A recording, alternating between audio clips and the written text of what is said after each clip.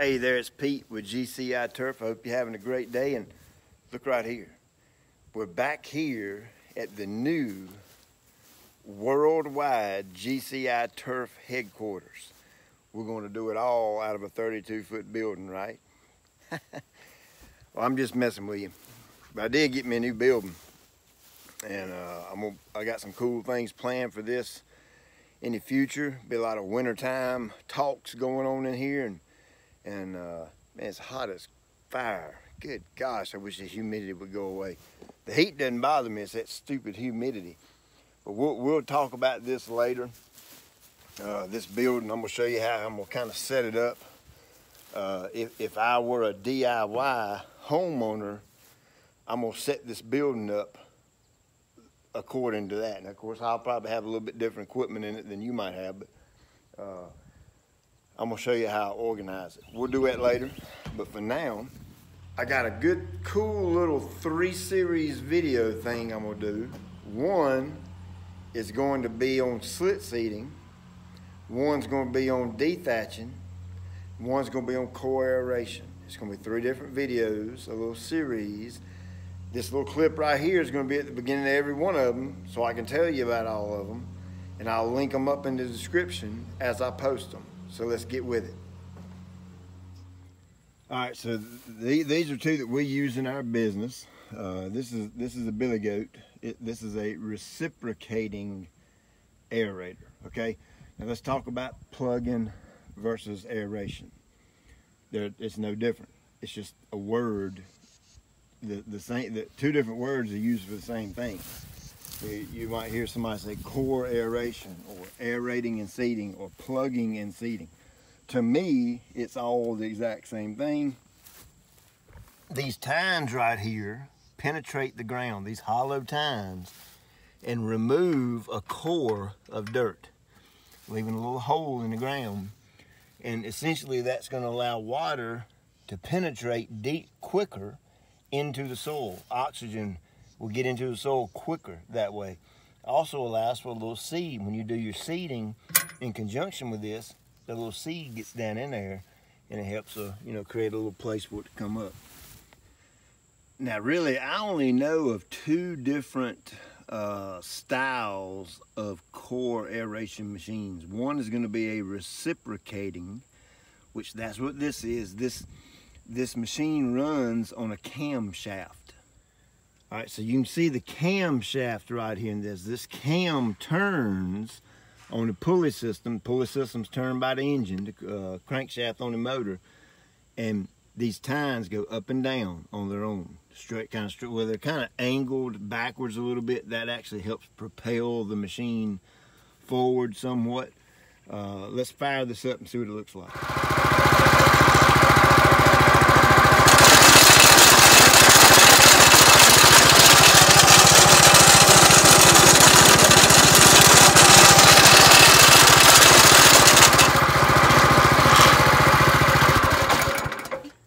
so you can kind of see how that works right there. The camshaft propel the tines in the ground. And you've got this lever right here that you're gonna let, you're gonna push forward and watch the tines. See how they drop down? That's what engages the tines into the ground. So of course, it's not gonna do any plugging unless you flip that lever up. All right, so let's look at this thing in action now. Uh, I'm gonna do it in bare dirt and I'm gonna do it in a, in a pretty thick stand of turf right here just so you get an idea of what it looks like both ways.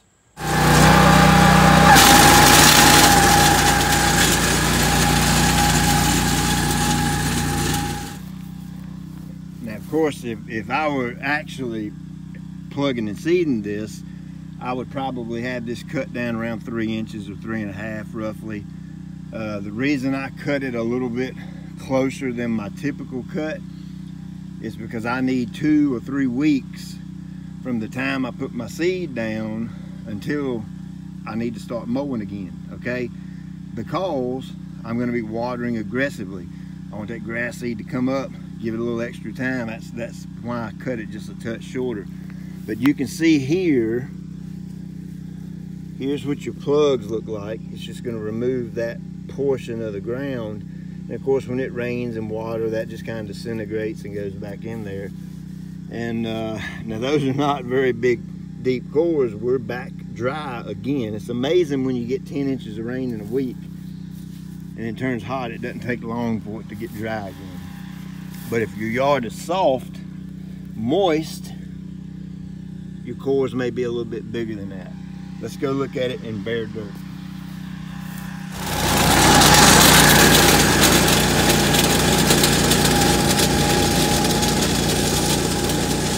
so you can see right here all your little holes, your little cores it puts out and removes the cores. Look at all those holes in the ground.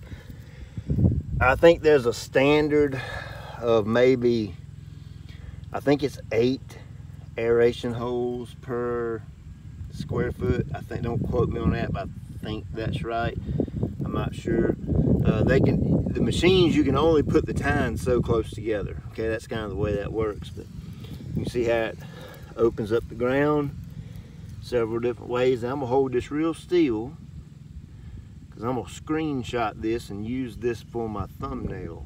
I think that'd be a pretty cool one. All right, now here's the second type of uh, core aeration machine. Now you can see this one's a little bit different. This one is on a, a shaft that goes around and around. So as the machine goes forward, the tines roll and typically the weight of the machine is what drives the uh, tines into the ground. This particular version is, is the Stinger version has a sulky you stand on it and you can ride it or you can remove it and walk behind it but you would simply take this lever drop it down and you can see how that that makes the that engages the tines it, it, it lets the tines ride on the ground so uh, let's let's run this one in the yard and then go do it on some bare dirt.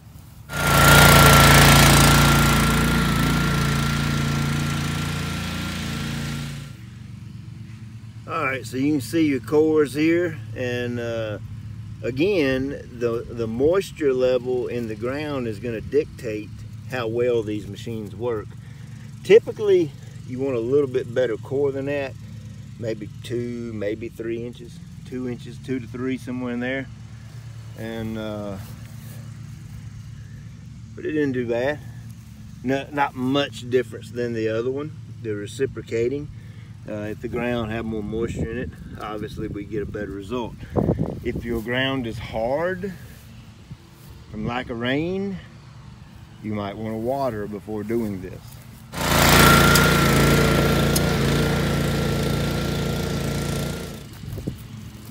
All right, so the reason I've got some bare dirt over here to work with is this is my neighbor's where we're doing the, the uh, renovation for her. You can see here's your holes again, here, here, here. Uh, of course, if you got bare dirt, you want to go over the same area three or four times to really pound the ground, to really chop up the dirt and mix it up well.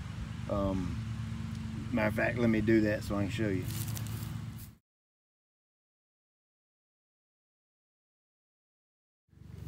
All right, so that was several passes and you can see now what it's done to the ground. It's kind of loosened it up much better. That's more of what you want versus a single pass like you see here. So you still got good hard spots in between the holes.